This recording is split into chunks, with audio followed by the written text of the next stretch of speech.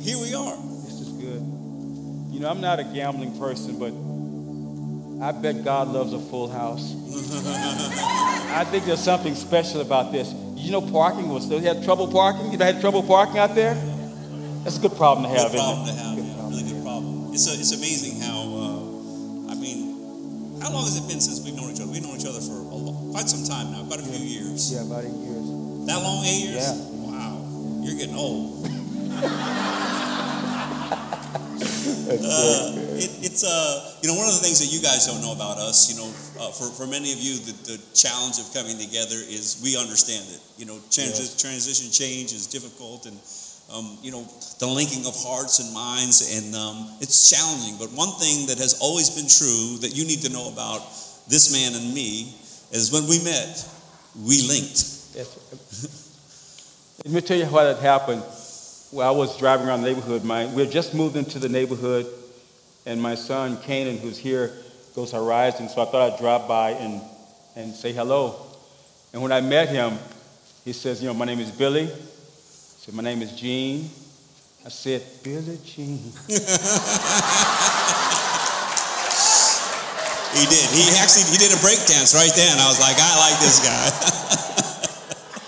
You know, you think that I'm the athlete up here, but I'm this guy. Marathon this year, just what Friday. from rim to rim in the Grand Canyon, from rim to rim. That's 20 hours or so. I just want to tell you something. Ow. No, um, I, uh, you know, the joy of us coming together, you know, uh, even before I had the dream, you know, the Lord was had linked us in such a beautiful way, and, and the, the context of our sharing our lives together and seeing what God was doing was already something that we enjoyed doing, whether it be men's retreats or connecting together. And you know, the beauty of how God moves us is something special. And sometimes, you know, I don't know, you know, I don't know. There's something in the scripture where the angels would show up. God was about to do something, and the and the angel would always go like this: "Fear not." And the reason that that that that they would say fear not is because sometimes when the Lord starts to do something, we just jump into fear. Like there's there's something about us like uh, uh, uh, uh. and so it's just a reminder for me as we began to enter into this, and really for everyone here to say, I realize that the Lord is saying to us, "Fear not, I got you covered." And uh, I just want to say, I love from Faith Rising, your pastor is my friend, and not just my friend, my partner in ministry. And to do this today and to join together today as an organization is so symbiotic to me and just the beauty of the kingdom of God. And it's a privilege to have you join our staff, to be a part of the vision that we have of moving forward and reaching our city for Jesus. And I looked out, yes, yes, I saw how many of Faith Rising was here, and I'm, I'm so honored. Uh, we were talking last week, and I said that traditionally only about 50% of a church will transition to follow a pastor. And I am so grateful that the right 50%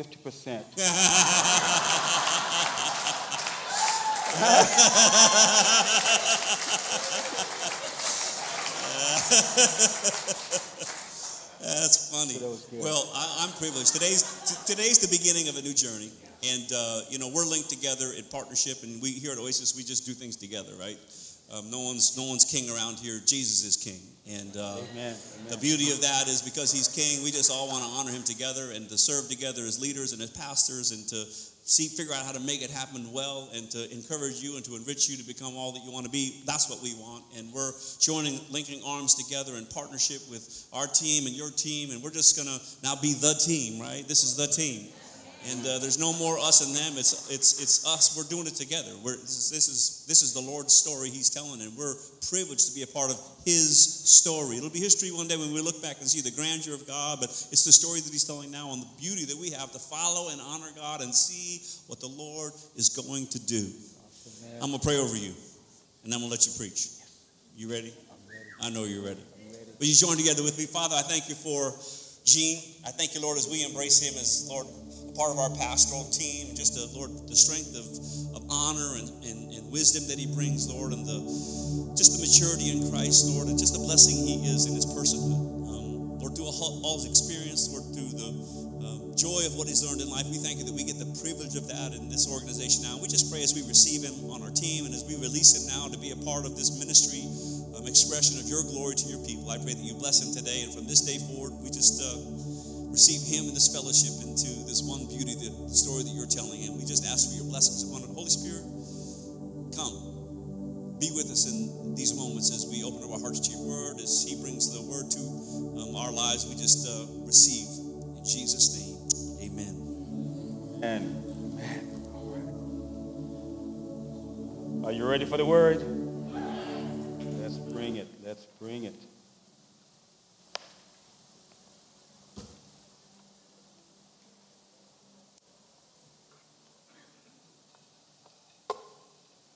If you take a moment to pray with me, Father, Almighty and everlasting, we bless you, we praise you, we, we give you all the glory that you so deserve. You are our strength, our salvation, our rock, our burden bearer, Jehovah Jireh, Jehovah Nisi, Jehovah Rapha, Jehovah Shalom. We love you. You're worthy of our praise. We lift your name on high. If we had 10,000 tongues, we could not thank you enough. Use me mightily now. Let this word be a lamp unto our feet, a light unto our paths. And we give you always the glory and the praise. In Jesus' name. And the church said, Amen. Amen. Amen. The scripture says, And now unto him who is able to keep you from falling and present you faultless before the presence of his glory with exceeding joy. To the only wise God, our Savior, be glory and majesty, dominion and power, henceforth and forever. He's in this place. Our God is in this place. I'm going to go right to it. I'm going to pick up on John chapter number 13, verse number 34 and 35. But before we go to the scripture, some of you read my bio and you, you know I'm from the South, South Phoenix. And uh,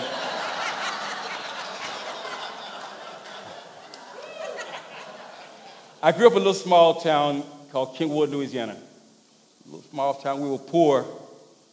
But as poor as we were, we grew up in a two story house. Mama had her story, Daddy had his story. But what I remember, what I remember is the love that was poured out to me in our community, the school, the teachers. And I go to church, and there's a little small church, and the church mothers would come over. They'd see you, say, Come here, boy. I was about six years old, and, and they would put their hands on you. And they started rocking, and they began to pray and prophesy.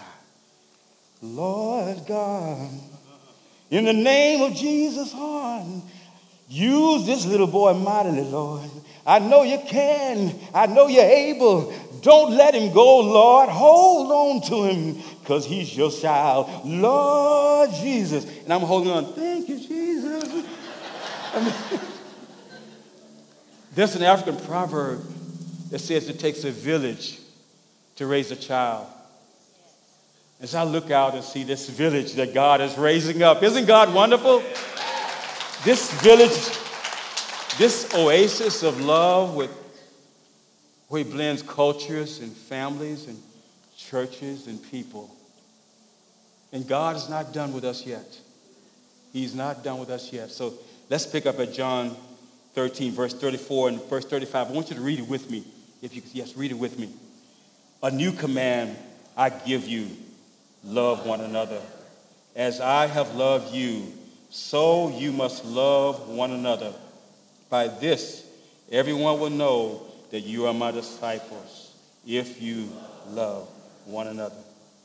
Loving people like Jesus loved us is not difficult. It's impossible without having the love of Jesus in our hearts. You can't love like Jesus apart from Jesus. I'm not sure if you're like me. My love goes until about 9 30, 10 o'clock at night. Thank you. And then it opens up again around 10, 8, around, around 7 a.m. But what Jesus talked about is this abiding love. That if you abide in me, he says, and I in you, that you will bear not fruit, but much fruit. And his desire is that each one of us bears much fruit, that fruit of love. In fact, Jesus saw a fig tree once that was in full bloom, but there was no figs, and Jesus was hungry.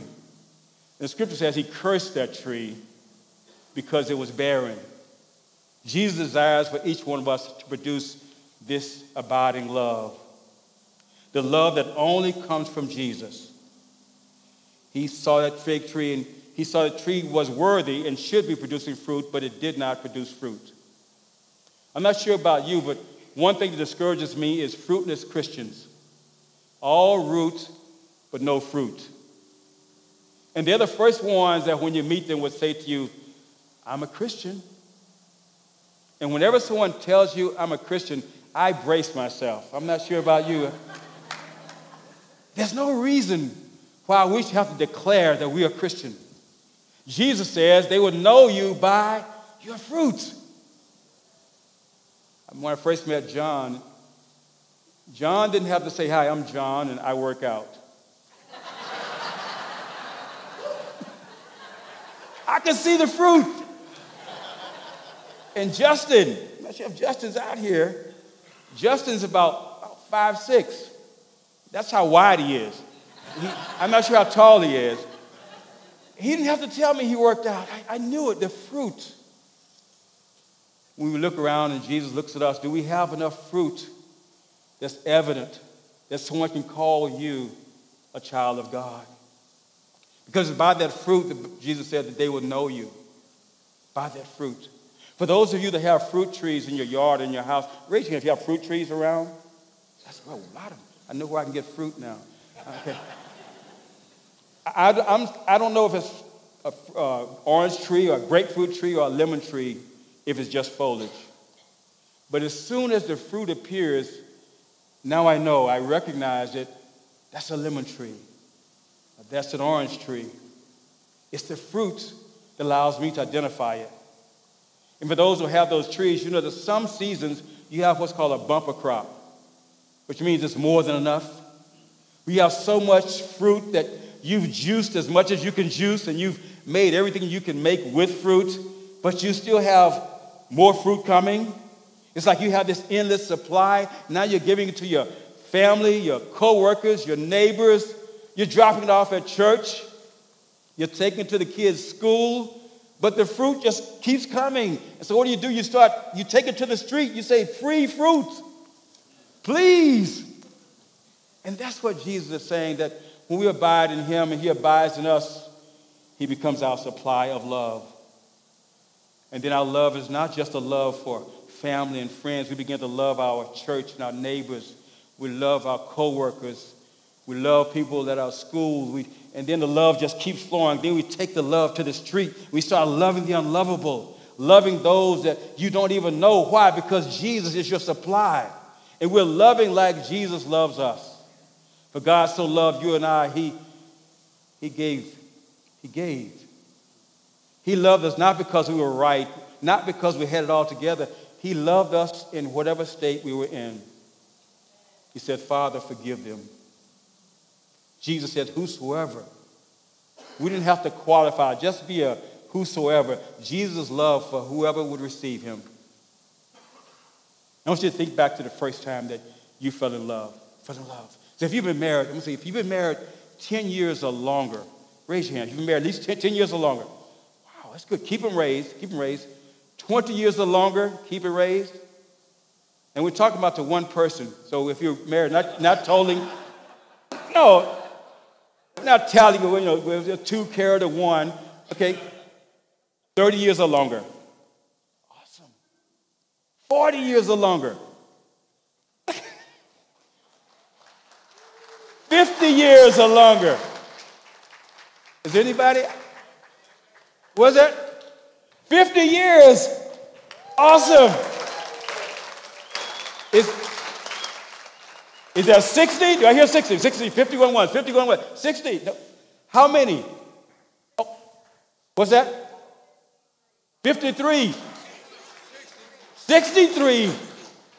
Wow, 63. And was there another one? 63 years. That's amazing. We have a couple in our church Earl and Lois Horde, they're in their 90s now. And they've been married over 70 years. Yeah, I went 70 plus years. I asked her, said, you ever, you ever thought about divorce? She says, she says, murder.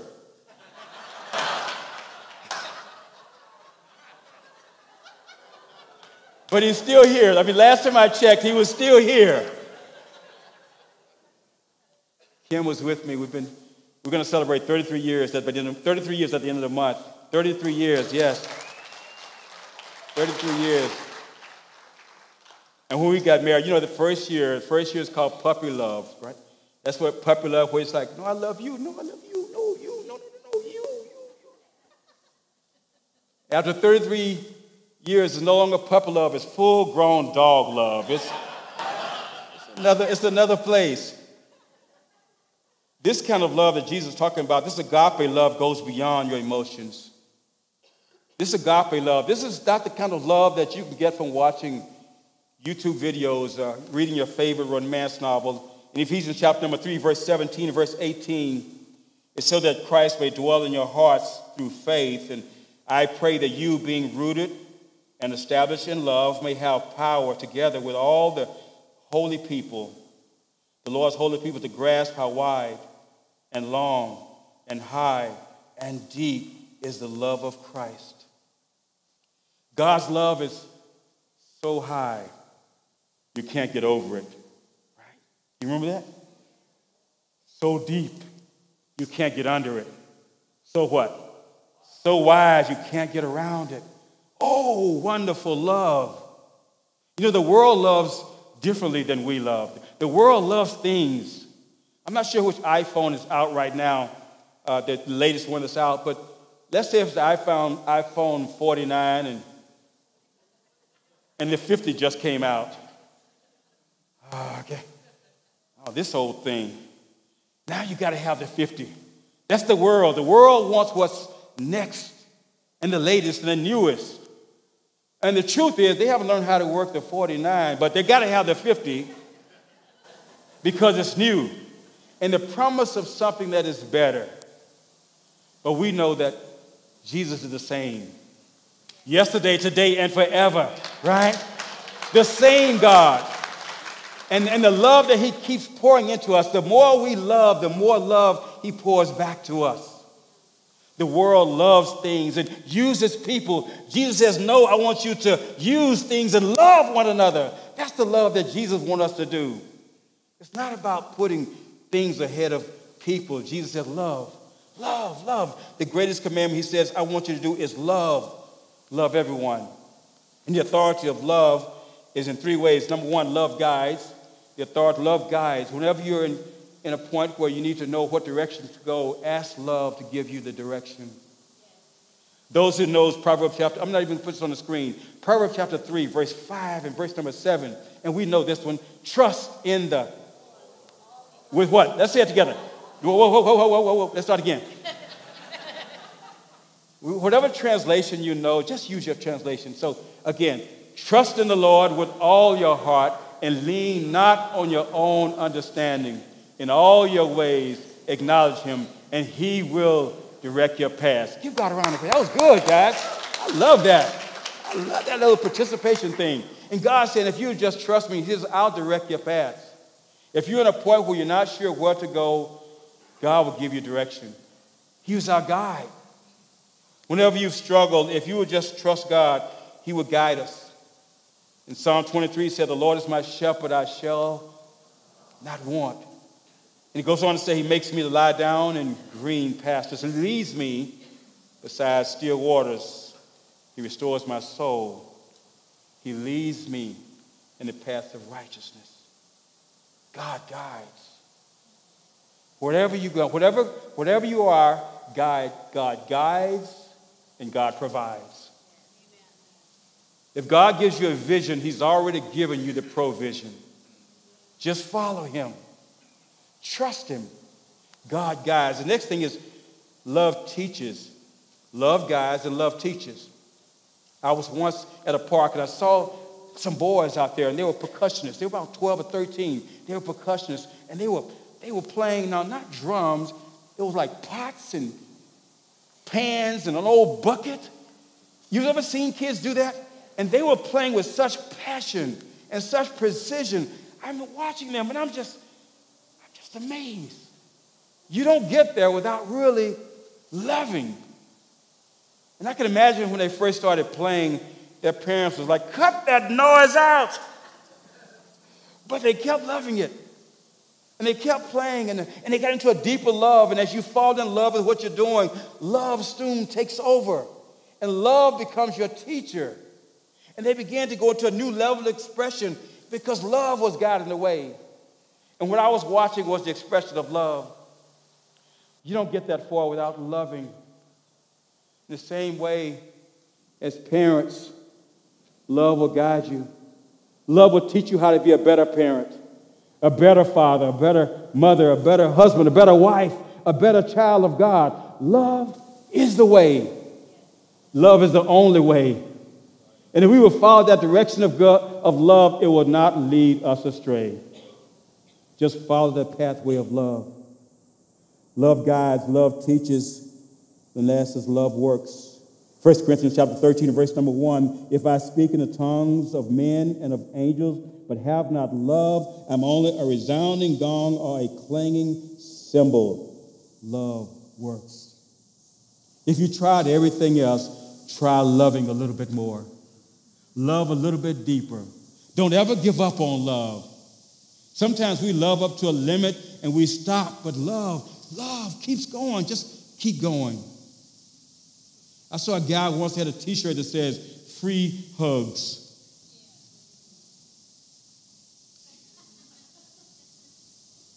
And then I saw this line begin to form. I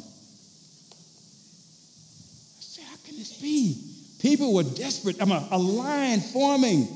I'm like, You don't even know this. This is the mall. You know who hangs out at the mall? he could be anybody. But they were desperate for love. And they were there, and I'm thinking, How? Then I got in line. What I'm saying to you is that love works. No matter who you are, no matter where you are, just keep applying the principle of love. Outside my office once, two guys that I know were, were about to go to blows over somebody that he took my girlfriend and she supposed to be with me, and they were about to go into blows. I said, I said to one guy who was carrying it, I said, come in here. And he came into my office, and he was like all huffing and puffing. And I put my arms out. And he started to weep. And he fell into my arms. What I'm saying to you is love works. You just got to give love a chance. If you could decrease more and allow love to increase, you see that love give you extreme possibilities. Love has gifts in you that you have not even opened yet. Let love show you a better way. Show you the way that you've never seen before. A new you is waiting on the other side of the love that God wants to impart to you. Let love come. Give love a chance. James chapter 4, I'm going to share with this. Verse 17 says, He who knows the good they ought to do and does not do it, to them it is sin. So we're going to love people as Jesus loved us. Greed takes, it is never satisfied. Love gives and has plenty left over. There's a song that the late Tina Turner recorded called What's Love. You never, you never heard that song. You never heard that song. That was, that's not the hymn book. That's not, that's not a hymnal. What's love got to do? Got to do. What's love but a. I'm going to pray for y'all. That, did you hear that? I threw the bait out and they didn't wait for it to hit the water. They just jumped up and got the bait. I've got the answer to that. What's love got to do with it? Everything, right? Everything. So I ask you, what's love got to do with it? Everything. Just keep giving love a chance. Love never fails. It says in scripture also in Matthew chapter 22, verse 37 through verse 39 it says, Jesus replied, Love the Lord your God with all your heart, with all your soul, with all your mind. This is the first and great commandment. And the second is like unto it love your neighbor as yourself. Love your neighbor as yourself. You know, you can't make someone love you. Tried that. Got the t shirt. You can't make, the best you can do is love yourself. Love yourself to the greatest of your ability. Know that God loves you. If Jesus had a refrigerator, your picture would be on his refrigerator. he loves you. You were created in the image and likeness of God. When you look in the mirror, you're looking into the face of perfection. When God made you, God said, That's good. That's very good. You don't need anyone else to approve you. Know that God has already approved you. You're qualified, certified, appointed, and anointed with the love of Jesus. That's it. You are the perfection of God.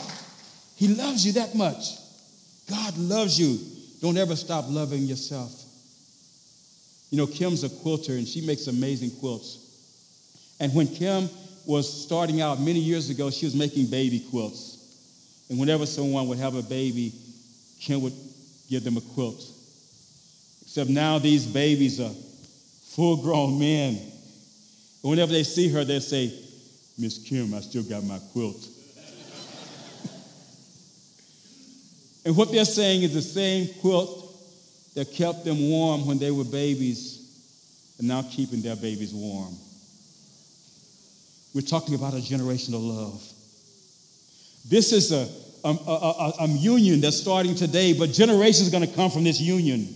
And this love will go for generations. And Jesus says, if you will love me, if you will keep my commandments, I will bless you for generations and generations. And the foundation of all of that is love. If you just love the Lord your God with all of your heart, with all of your soul, with all of your strength, and love your neighbor as yourself, God will do the rest. Let God do the heavy lifting.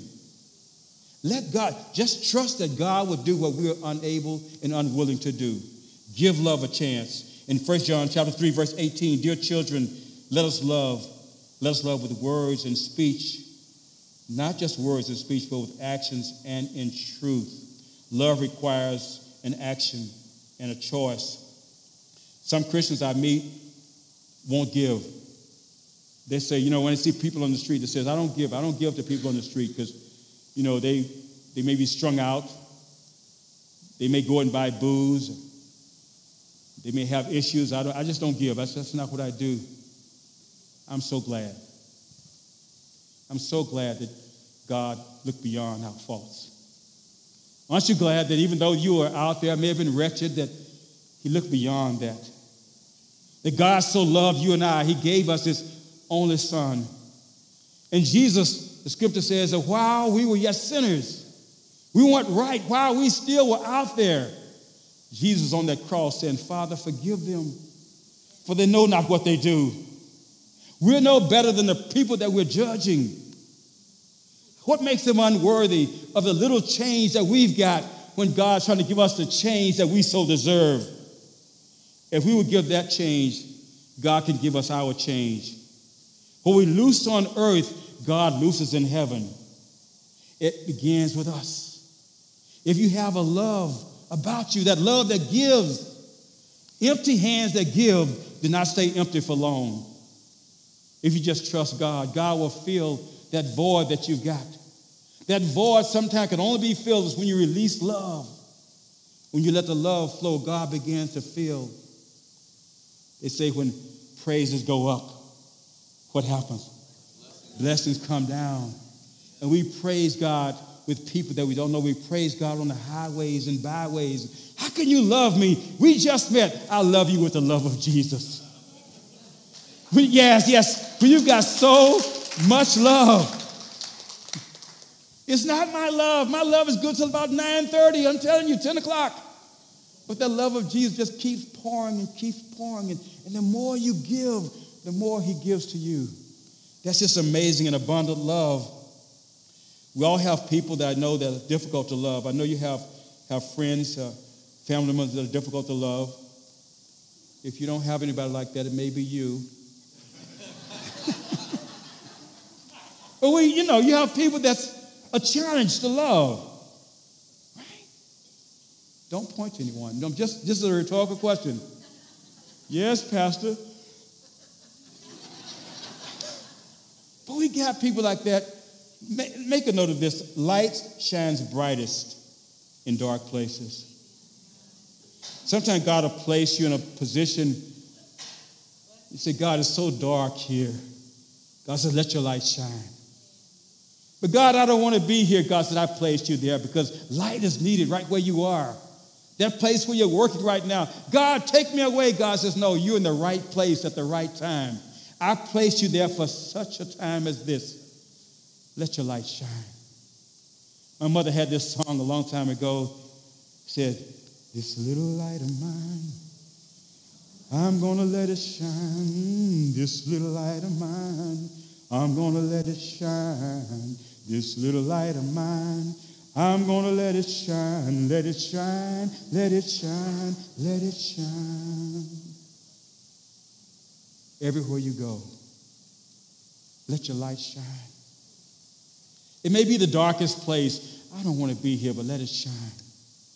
In your neighborhood, I just I want to move, let it shine. People that don't like you, let it shine, especially on people that don't like you. Friends that come and tell me, I don't think the people that work like me. So why is that? Because the stuff they say. Like what? Like, I don't like you.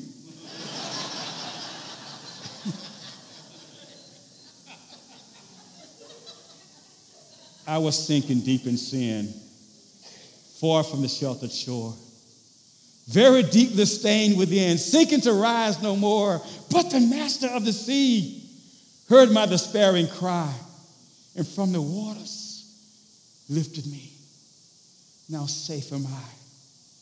Amazing grace. We sung it earlier. How sweet the sound that saved a wretch like me. I once was lost. Can anybody say that? I once was lost, but what? But now we're found. Was blind. But now we see that's God's amazing love. And what we're doing is we're just beggars telling other beggars where they can find bread. I'm just a nobody.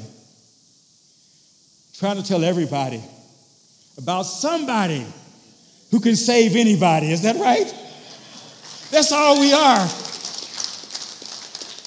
Not perfect. I'm far from it. I'm just forgiven.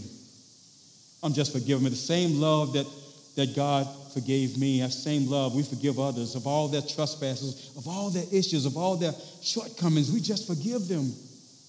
And just think the same way that we've been forgiven, the same way that we've been loved. Jesus saying, This is the love. By this kind of love, they know that you are my disciples. If you have love one for another. 1 John 4 20. Whoever claims to love God but hates his brother is a liar. For whoever does not love their brother or sister whom they have seen cannot love God whom you have not seen. We all love differently. Everybody's different. Keep loving. Keep loving. In 1 Corinthians chapter 13, it's called the love chapter. And I love, I love this chapter. We talk about love being kind and patient. It seeks no record of wrong. It does not keep records. It endures all things. It trusts all things. Love believes all things. And then in First John, uh, John chapter, I mean Corinthians chapter 13, verse number 8. Number 8, I love this one. Say it with me. Love never fails. We may fail. We may fail to stop loving, but love just, it never fails.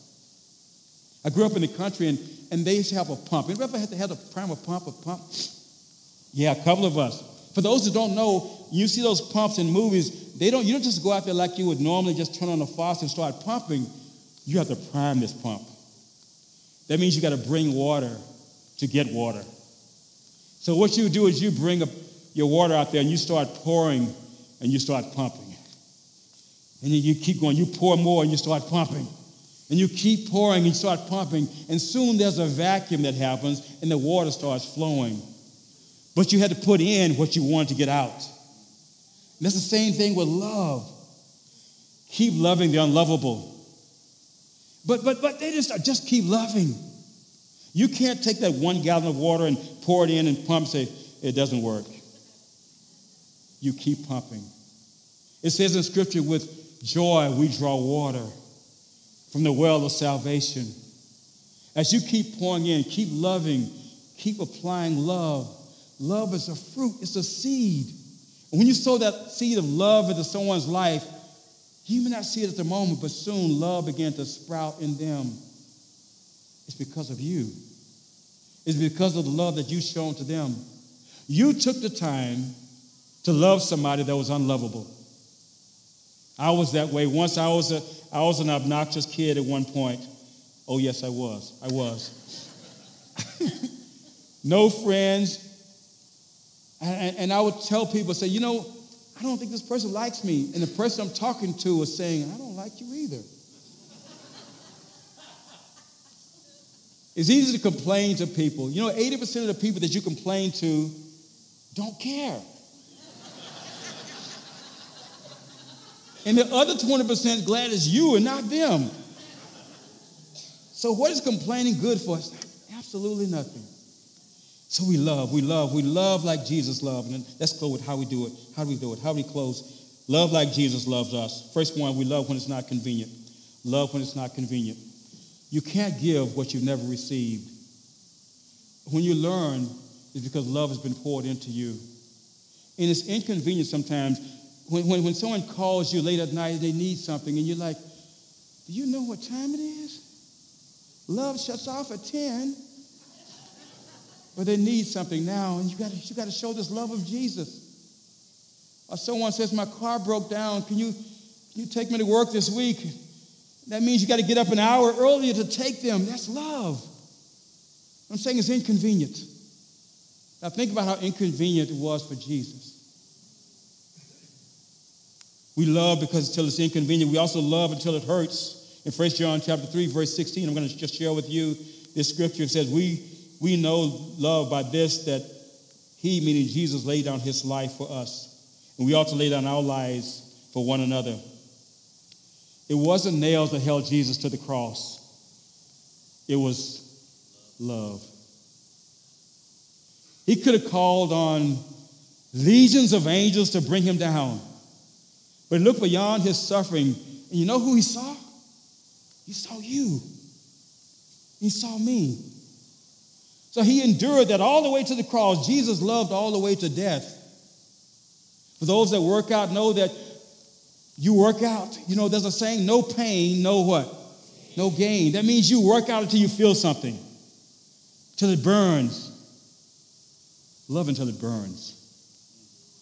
Love until you feel it. Don't, don't just stop loving. I lo- this is the third day. How much love am I supposed to give? Just keep loving. There's no limit on love. Don't ever throw in the towel when it comes to love. Just keep loving. God will take care of the rest. So we love until it hurts, and then we, we love others above self. We love them above self. Doing for others more than what is required and loving them beyond what is allowed. You see, when you love beyond, it leaves space for God to move.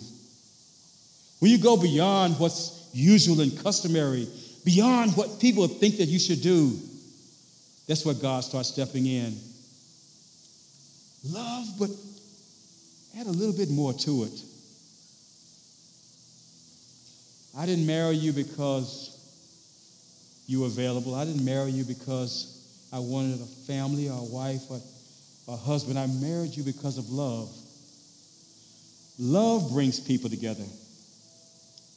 When two people come together, then marriage is not what makes you happy. Marriage makes you holy. It allows God to join you in a union. Wherever two or more come together, rightly dividing the word of truth, Jesus says, I'm there with you. He says, I can't wait. Jesus was saying, I can't wait until Sunday.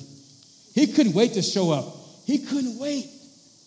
for faith and Oasis, and all of God's people to come together. And He's in this place. But we also have an unwanted and uninvited guest. The evil one is here also. He wants to undo everything that God is doing. You'll leave here. Now, usually Satan waits in the car for you. but This time, he wanted to come. He wanted to come in and see this for himself. And he's going to spread lies. You know, that's, that's something that Pastor Billy is trying to do. What's he trying to do? What's Pastor Gene up to? This is not Pastor Billy's doing or Pastor Gene's doing. It's the Lord's doing. It's the Lord. Go ahead. It's the Lord's doing. And it is marvelous in his eyes as we're here, I want you to know that we passed this way but once. We don't get to do this again. We passed this way but once. So if you can make a difference, if you can help somebody, if you can ease some suffering, do it now. We don't get a second chance. I mentioned my son, Canaan. Where are you, Canaan? Canaan? There's Canaan over here, my youngest son. He's 20 now. I was looking at pictures of him recently. But he was just. I have a picture of me holding him up like Simba.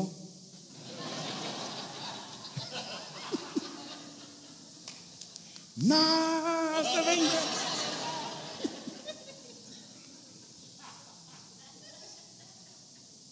The time gone?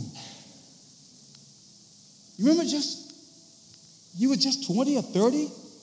You just turned 40? I, not too long ago, I was 40. I blinked and I was 50. Took a nap one time and I woke up, I was 60. now I just keep my eyes open. I just.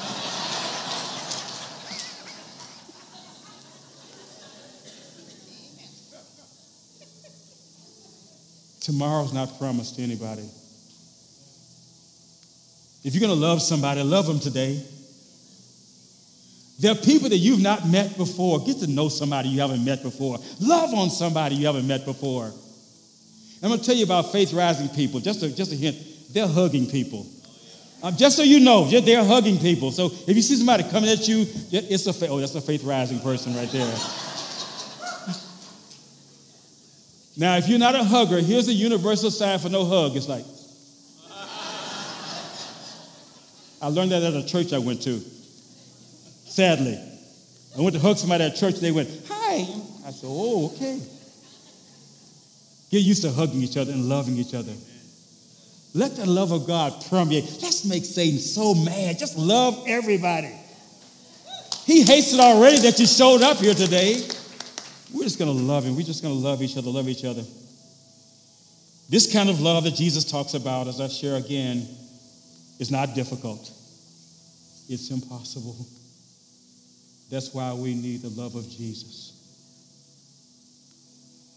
With every head bowed, every eye closed, just for a moment, I want you to make this declaration with me.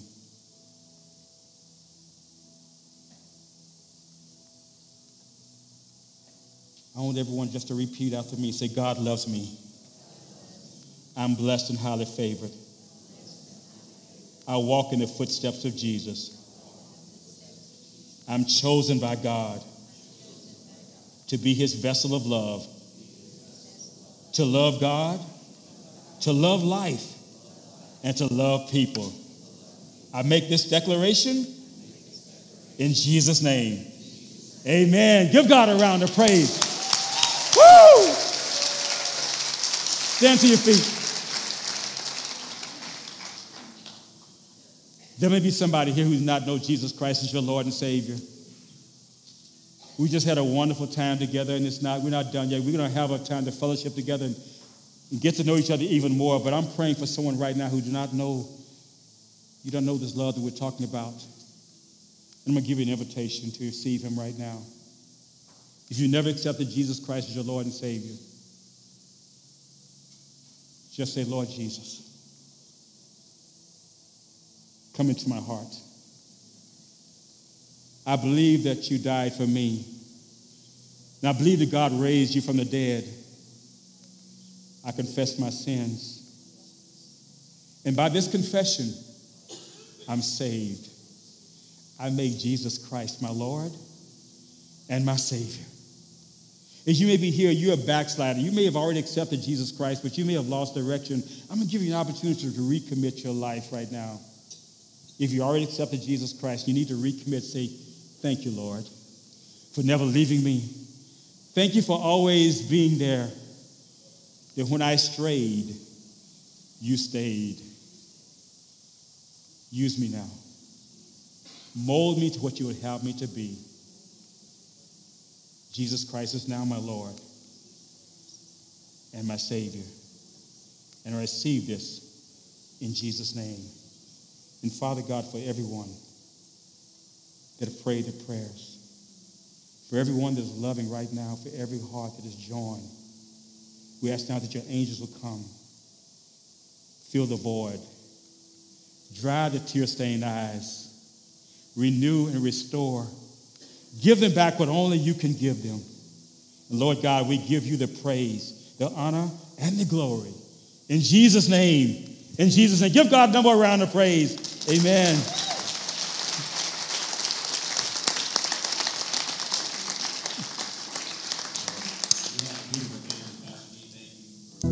reminding us and empowering us to this beautiful thing called love.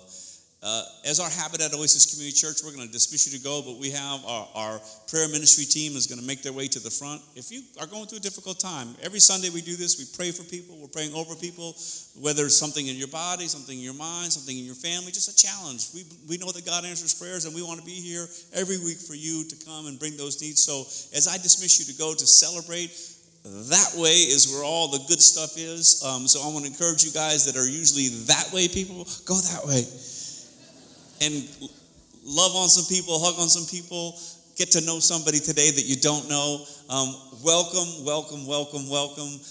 Here we are, family together, sharing in the vision and purpose of God. I'm so excited about what God is going to do. Amen.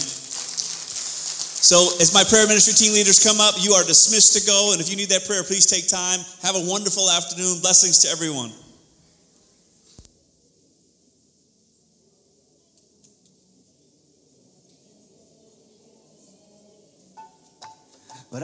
Thank you so much for joining us online. We hope that today's worship and message were inspiring to you. Here at Oasis, we want you to know God, grow healthy, discover your purpose, and make a difference. That being said, if you are new or want to be better connected to Oasis, you can text the word Oasis to the number on the screen. We would love to get you plugged in. And if you have any prayer requests, you can leave them in the comments below. We would love to continue praying for you during the week. As always, we will see you next Sunday. Be blessed.